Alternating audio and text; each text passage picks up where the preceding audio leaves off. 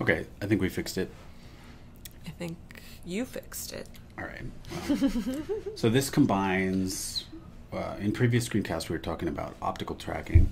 Face tracking is really computationally expensive. Optical tracking is really computationally inexpensive.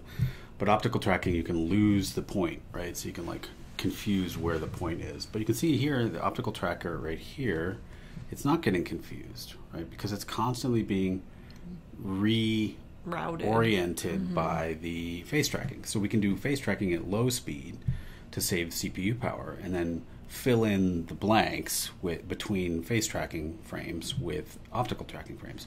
So you can see here we have the grabber going into a JIT matrix 640 by 360, but here the the through parameter is turned off, so it's not sending the video frames through until it un, unless it gets a bang.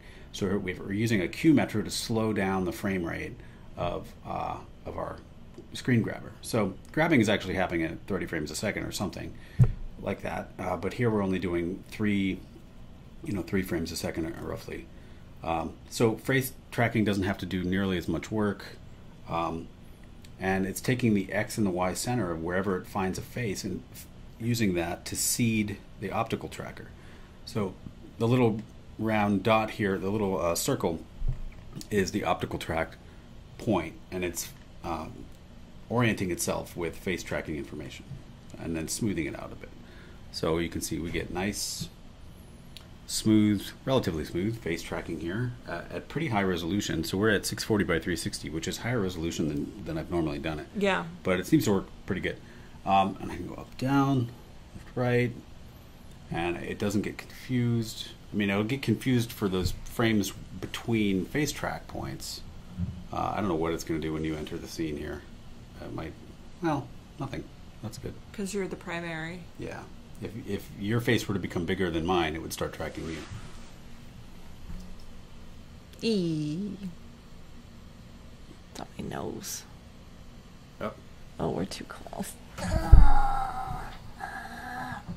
Now you're just Scary freaking blur. it out.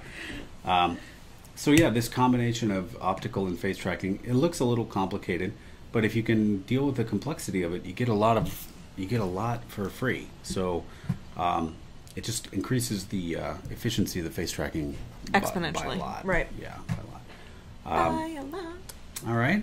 Yeah. What are we What are we missing here? So let me just recap. This blue part is the actual face tracker, and that's just outputting the X and the Y.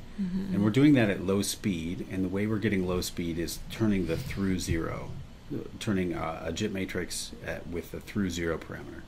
And that means throughput is turned off.